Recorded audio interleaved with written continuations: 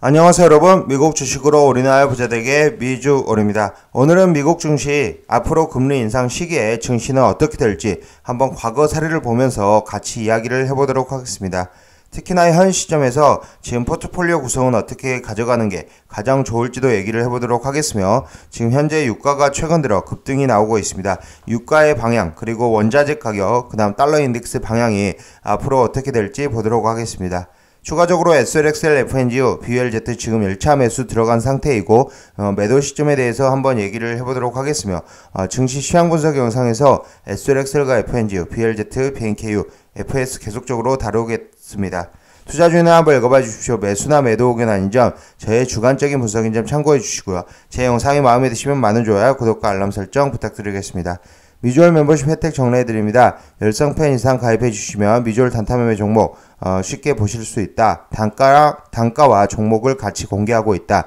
그리고 술 한잔과 특급팬 이상 가입해 주시면 채널 초대 및 개인 상담을 하고 있다는 점 참고해 주시면 좋을 것 같습니다. 그러면 현재 증권사 레포트 같이 보면서 얘기를 해보도록 하겠습니다.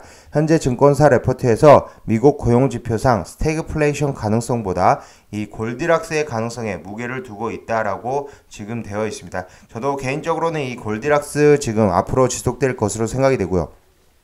지금 10월 들어서 이제 일단은 어느 정도 조정, 특히나 9월 말부터 시작된 조정이 어느 정도 진행이 되고 있는 상태이나 앞으로 3분기 실적 발표 시즌을 맞춰서 지금 좋은 실적들이 나오면서 골디락스의 가능성에 더 무게를 저도 두고 있습니다. 신고 거, 신규 고용은 4차 산업혁명과 함께 더디지만 견조한 임금 상승률에 따라 소비의 안정적인 성장을 예상하고 있습니다. 특히나 이제 원자재 가격 상승은 화석연료 관련 원자재 가격의 상승이 인플레이션을 단기적으로 자극하고 있지만 장기적인 현상은 아닐 것이라는 게 지금 얘기고요. 이 패드에서도 얘기를 지속적으로 하고 있지만 인플레이션은 일시적, 일시적이다. 저도 일시적이다라고 생각이 되고 패드에서도 계속적으로 이 인플레이션은 일시적이다라고 얘기를 하고 있습니다. 특히나 이제 과잉 설비 투자가 일어나지 않는 구간이 지속되지, 지속되는 한 원자재 슈퍼사이클 가능성이 낮다라고 지금 얘기를 하면서 장기적인 현상은 아닐 것이다라고 얘기를 하고 있습니다. 그리고 이제 앞으로 중요한 게 미국 이 앞으로 이제 금리를 이제 상승시킬 것으로 예상이 되는데 일단 1차적으로 테이퍼링은 이제 연내 시작할 것이고 내년부터 이제 0.25포인트 정도부터 시작을 해서 금리 인상을 시작할 것으로 보입니다. 하지만 과거 사례를 보면 쉽게 알 수 있습니다. 여기서 먼저 과거 사례 자세히 이제 보기 전에 간단히 보면 다컬 다컴 버블 붕괴 전으로 미 연준이 1.1년 반 동안 1.75%의 금리를 올렸습니다. 그 구간 S&P 500은 68%, 나스닥은 280%의 상승이 나왔고요. 성장주 특히 바이오 반도체 바이오주 상승이 500%로 가장 높았습니다. 마찬가지로 2008년에도 마찬가지였고요. 2015년과 2018년 사이에도 마찬가지의 모습을 보여주었고 그리고 좀 더 자세히는 뒤쪽에서 보도록 하겠습니다. 현재 시점에서는 포트폴리오 관련해서 선진국 80%, 신흥국 20%의 전략이 추, 추천을 하고 있고 단순하게 미국 80%, 중국 20% 전략이 유한되라고 하지만 저는 이제 중국 주식에는 별도로 투자하지 않고 있고요. 지금 현재 유일하게 니오 주식 한 종목만 매수를 하고 있습니다.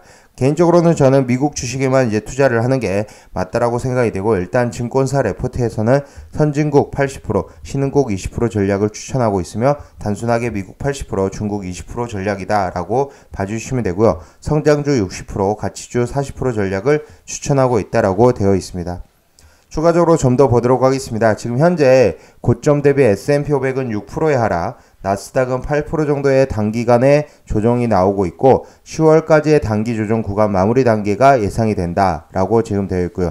여전히 금리 상승 부분 즉 인플레이션 우려에 따라 나스닥과 중소형주 수익률은 저조하겠지만 S&P 500과 미국 다우존스의 상승폭은 지금 현재 지난주에 두드러졌다라고 보시면 됩니다. 지금 한 주간에 보면은 다우존스는 1.22%, S&P 500은 0.79%, 나스닥은 0.09%의 상승, 이제 small cap 러셀 2천은 지금 0. 마이너스 0.3% 지금 하락이 나왔고요. 한 달 기준으로만 보더라도 이제 전체적으로 이제 좋은 좋지 않은 모습. 연 단위로는 그래도 다우는 13%, S&P 500은 16.91%, 나스닥은 13.12%, 러셀 2천은 13%대 상승을 지금 현재 보여주고 있습니다. 지난달 말 이제 미국 고용지표소 발표가 되었는데 9월 신규 고용 수치는 19만 4천 명으로서 예상치 50만 명보다 그 거의 반토막 난 수준이 발표가 되었고 이럼에도 불구하고 크게 증시가 하락이 나오지 않고 있고 일단은 저가 매수세가 그래도 들어오고 있는 모습이 보인다라는 점 참고해 주시고요. 이 수치가 일부는 우려할 수준이기는 하지만 스태그플레이션을 암시하는 수치 중 하나라 예상할 수도 있습니다. 하지만 스태그플레이션이랑 경제 성장의 침체가 일어나고 인플레이션은 크게 상승하는 구간을 말을 하고요. 당연히 스태그플레이션이 나타난다면 주식 시장은 안 좋을 수밖에 없습니다. 하지만 스태그플레이션 저도 안 나타난다라고 생각이 되고 인플레이션 관련 주식만 상승하고 다른 주식들의 상승은 한정적일 수 있습니다. 하지만 그렇다 하더라도 인플레이션이 일어나는 것이 주식시장에서는 디플레이션이 일어난 것보다 훨씬 좋다라고 되어 있습니다. 계속적으로 신규 고용 추이가 좋지 못하지만 이제 이제 코로나 지금 델타 변이 이제 확산이 어느 정도 꺾인 상태가 되었기 때문에 다시 신규 고용 수치는 그 기하급수적으로 늘어나지 않을까라고 저는 생각이 되고요. 하지만 이렇게 실업률 추이가 계속적으로 낮아지고 있다. 고용 수치가 이제 좋지 못하게 못하, 못하게 발표가 되므로도 지금 현재 실업률 예상치인 5.1%보다 낮은 4.8%가 나오면서 5.2%에서 기존에 크게 개선된 모습이다라고 지금 보시면 됩니다.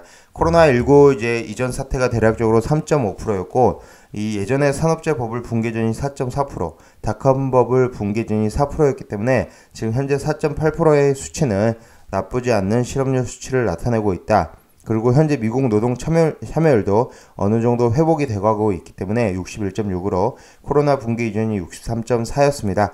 점점점 회복을 해가고 있다라고 봐주시면 될 것 같습니다.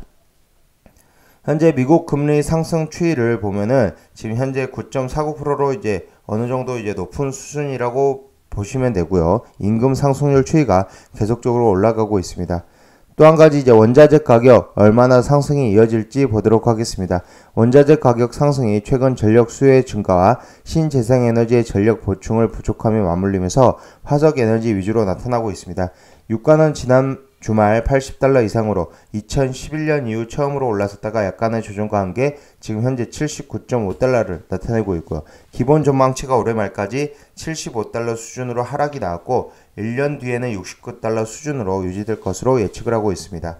만약 하지만 만약 공급의 증가가 전혀 없고 전력난이 지속되면 유가가 일시적으로 110달러까지 취소, 취소될 가능성이 있다.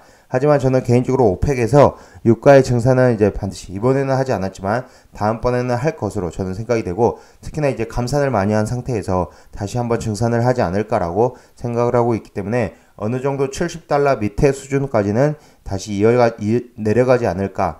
현재 80달러, 올해 말까지 75달러, 12개월 뒤까지 69달러 수준이 전망되고 있다라는 점 참고해 주시면 좋을 것 같습니다. 특히나 이제 미국 관련해서 원자재 다시 천연가스 최근 들어 엄청나게 급등하는 모습을 보여주고 있는데 지금 현재 5.66달러 연말까지 그다음 5.5달러로 하락 1년 뒤에 4.8달러로 하락이 나온다. 지금 현재가보다는 이제 앞으로 전망치가 6개월 1년 뒤가 좀더 낮다. 석탄 가격도 지금 현재 최근에 이렇게 급등한 흐름을 보여주고 있으나 12개월 뒤에는 244달러로 지금 예상이 된다. 그러니까 점점점 이 원자재 가격, 그리고 인플레이션 관련은 점점 줄어든다라는 것을 이 원자재 가격, 가격에서 보실 수 있습니다. 특히 이제 전체적으로 금리 상승기 안정적인 달러 지수 구간이 유지가 예상이 되고요. 예, 달러를 들고 있는 게 아무래도 수익률이 더 높다라고 보시면 됩니다. 인플레이션이 지속적으로 과거보다 좀 더 높게 나온다면 미국의 10년 장기 국채 금리는 점차적으로 향후 상승하는 구간이 나타날 것으로 예상이 되고요. 현재 미국 10년 국채, 금리는 내년 말까지 2%에 근접하는 수치가 될 것이다. 지금 올해 말까지 대략적으로 1.7에서 1.8, 1.9 밴드 정도 있다라고 봐주시면 되고요. 10년물 국채 금리는 내년 말까지는 2%대에 근접하는 수치, 어, 2%, 1.9에서 2%대에 도달을 하고 2023년에 2.2에서 2.5% 수준까지 금리가 상승할 것으로 예상을 하고 있습니다. 앞으로의 금리 추이는 계속적으로 올라가지만 이렇다 하더라도 앞으로 이제 전체적으로 금리 상승기에는 미국 증시는 과거 사례를 보면은 올랐다라고 지금 되어 있고요. 과거 사례를 뒤쪽에서 좀 더 보도록 하겠습니다. 마지막으로 이제 달러 인덱스 지수 관련해서는 올해 말까지 96, 내년 말까지는 98 수준까지 상승이 예상된다. 여러분들이 이렇게 제가 영상에서 보여드리고 있으니 한번 직접 읽어봐 주시면 좋을 것으로 생각이 되고요. 제가 부, 부분 부분 중요한 부분을 지금 하이라이트 치면서 읽어드리고 있다라는 점 참고 부탁드리겠습니다. 그러면 현재 이제 앞으로 금리가 상승했을 때 어떻게 미국 증시가 변화가 될지 보도록 하겠습니다. 지금부터는 과거 금리 인상의 세 번의 사이클을 들여다봅니다. 세 번의 시기에서 증시의 흐름은 어떻게 되었고 어떤 업종에 대한 관심이 중요한지 들여다보도록 하겠으며 현재 닷컴 버블 붕괴 전 미 연준 금리 사이클 시기와 시장 업종별 상승 추이에 대해서 보도록 하겠습니다. 닷컴 버블 붕괴가 지금 일어난 게 지금 대략적으로 여러분들이 보시면 죄송합니다. 지금 잠시 다시 올라가 보도록 하겠습니다. 지금 버블 붕괴 전에 지금 앞서서 보시면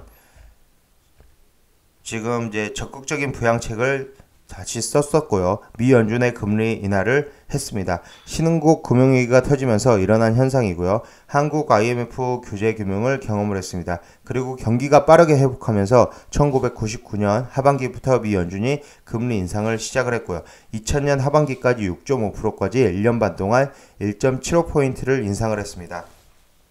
이 대략적으로 1999년 1 월달 4.75포인트에서 2020년 7월 달까지 6.52포인트, 1년 반 동안 1.75포인트를 올렸다라고 보시면 되고요.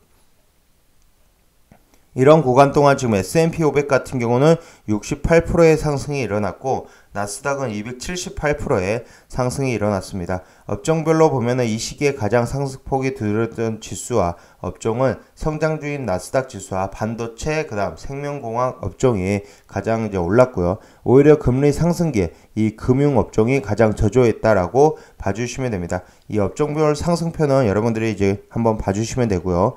지금 대략적으로 2008년 산업재 버블 붕괴 전 사이클 시기와 시장 업종별 상승 추이를 보면 2007년에서 2008년 산업재 버블 붕괴가 일어났고 미국 금융위기가 터졌습니다.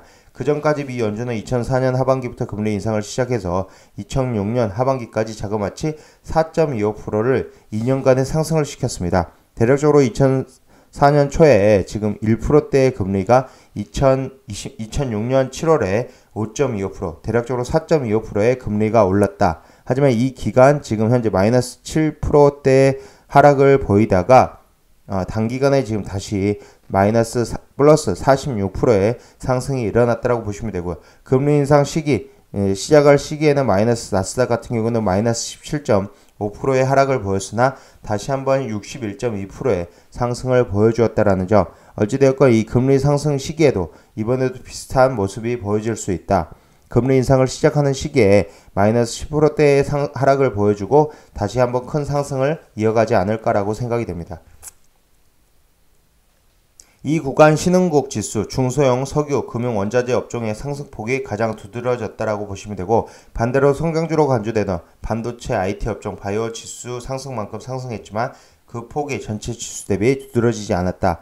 특히 이 시기에 그만큼 원자재 가격 상승이 두드러지는 구간이었고 산업재 버블 시기였다. 특히 중국발 설비 확대가 거품으로 이어지는 구간이었고 과잉 생산을 만들어지는 구간이었다라고 봐주시면 됩니다.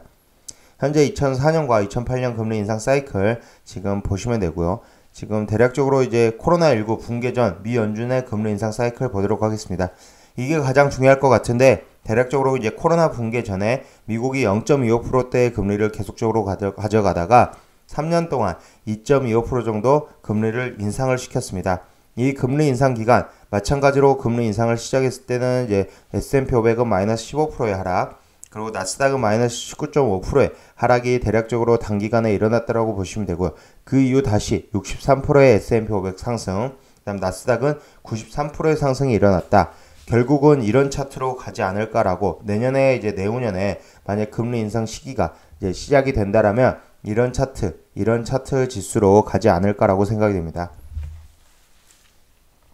이 구간 상승을 업종별로 보면 반도체, 태양광, 신재생 에너지, IT, 바이오 헬스 금융 지수가 세 자릿수 상승을 보였고요.